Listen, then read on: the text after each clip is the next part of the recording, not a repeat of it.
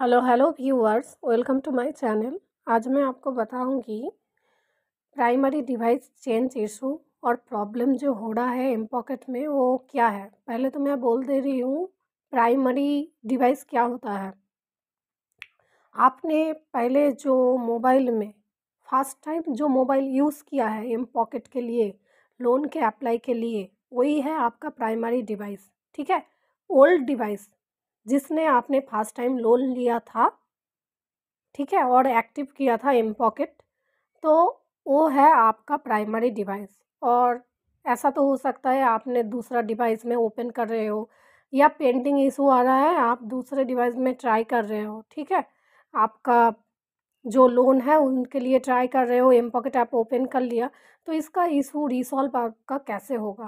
पहले तो जब आप तीन चार डिवाइस में already M pocket app open कर लेते हो। आपको लगता है एम पॉकेट ऐप काम नहीं कर रहा है तो दूसरे डिवाइस में ट्राई करते हो।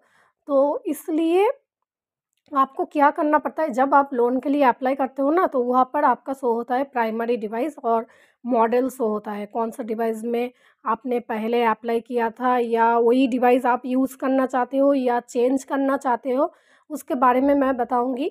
जब आप लोन के लिए अप्लाई करते हो, उस टाइम आपका शो होता है चेंज योर डिवाइस या प्राइमरी डिवाइस। और बहुत सारा डिवाइस शो होता है क्योंकि आपने बहुत सारे डिवाइस में एम पॉकेट ऐप ओपन कर लिया था। ठीक है तो आपको क्या करना है? आपको प्राइमरी डिवाइस सिलेक्ट नहीं करना है।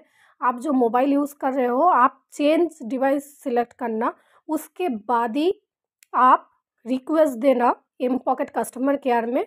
उस टाइम ही एक कॉल आएगा नहीं तो एसएमएस आएगा उस टाइम आपका जो चेंज डिवाइस है वो ऑलरेडी चेंज हो जाएगा।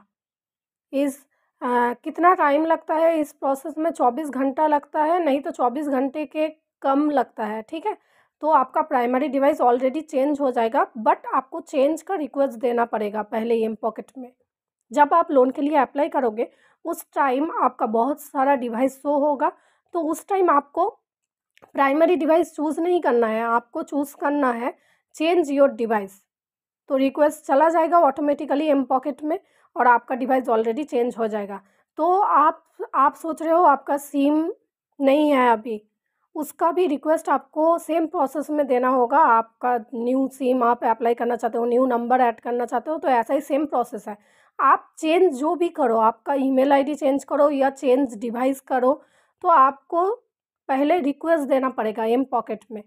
उस टाइम चौबीस घंटा लगेगा, आपका डिवाइस ऑलरेडी चेंज हो जाएगा नंबर भी चेंज हो जाएगा और एक कॉल आएगा वेरिफिकेशन के लिए ईज़िली चेंज हो जाएगा। उसके बाद आप लोन अप्लाई ईज़िली कर सकते हो तो ये कोई दिक्कत की बात नहीं है बट आपको प्राइमरी डिवाइस सेलेक्ट नहीं करना है चेंज डिवाइस सेलेक्ट करना है, उस टाइम आपका ऑटोमेटिकली चेंज हो जाएगा, आप लोन के लिए अप्लाई कर सकते हो।